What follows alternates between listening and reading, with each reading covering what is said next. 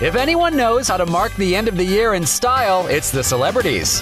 We check out how the stars said goodbye to 2013 and rung in the new year. There may not have been a baby announcement this year, but Kim Kardashian still had an equally cool Christmas. The reality TV star was getting active as she hit the slopes with Kourtney, Scott Disick, and her fiance Kanye West.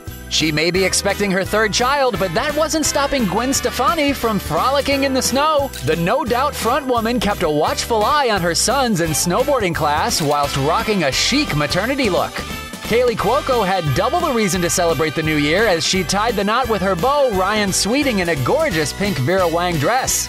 Rihanna surprised everyone by holding a civilized dinner party to ring in the new year, but with BFF Cara Delevingne in tow, it was never going to end there.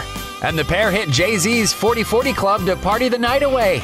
It was a super romantic gesture from her beau that saw Olivia Palermo glowing on her New Year's Eve. The stunning couple got engaged on holiday in the idyllic St. Bart's. So, whether it's small, intimate affairs or wild nights out partying, the stars saw out 2013 in splendor. Here's to 2014.